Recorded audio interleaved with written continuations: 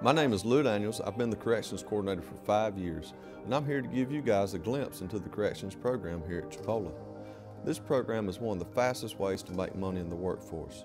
Students come into the program, study for about two and a half months, and then they become a certified correctional officer.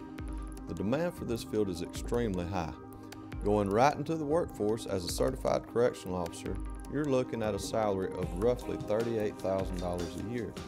So keep in mind that investing $1,600 into your education can prepare you for this annual salary. Our course study consists of nine general classes and three high liability classes. What this means is that in total, there are 420 clock hours of study.